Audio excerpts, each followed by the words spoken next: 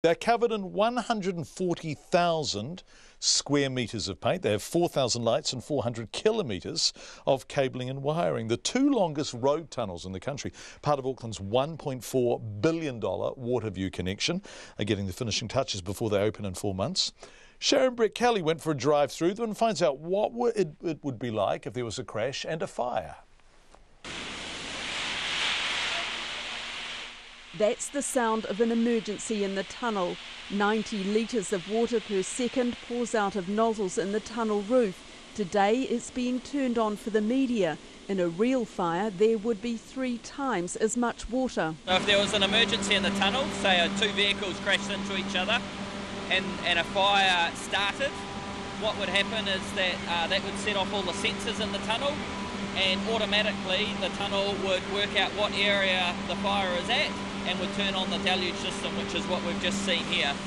Brett Gliddon, the Transport Agency's Auckland Highway Manager, explains what would happen in a real emergency as the torrent floods the road and jet fans blast air through the tunnel. At the same time, uh, the fire service would be alerted and the emergency crews would be arriving at the tunnel and um, we would be able to shut the tunnel and get everyone out of this tunnel into the tunnel next door through the cross passages and the emergency crews could enter.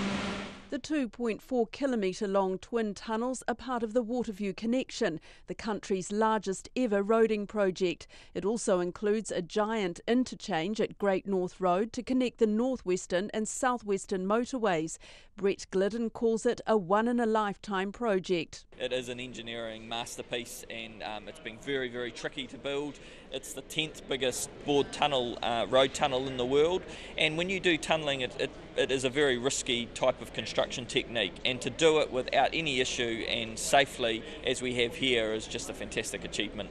Tunnelling first began three years ago, digging down more than 40 metres below ground. The famous tunnel boring machine called Alice, one of the largest of its kind in the world, pulled out 800,000 cubic metres of spoil, enough to fill 320 Olympic sized swimming pools. Engineer and project manager Ian Simmons says turning Alice around halfway through to start on the second tunnel was one of the big challenges. We had a tunnelling machine that weighed three and a half thousand tonnes that we had to turn around in a box where we only had something like 150 millimetres of clearance. Some of the other challenges we've got across the project, yeah, we have a very um, beautiful aesthetic footbridge in the south here and that's a very complex structure in the way it's made in terms of the pre-stressed concrete, in terms of the suspension of the, the deck, up in the north, yeah, the challenges up there are really around the ramps. Instead of having to get a crane in to lift them and close the motorway, we, we did it with a gantry that actually picked the beam up and then travelled forward over the gap and dropped the, dropped the beams down. Ian Simmons says the people have made the project special. We've had more than 10,000 people inducted onto this project. There's well over 10 million man hours have been worked on this project.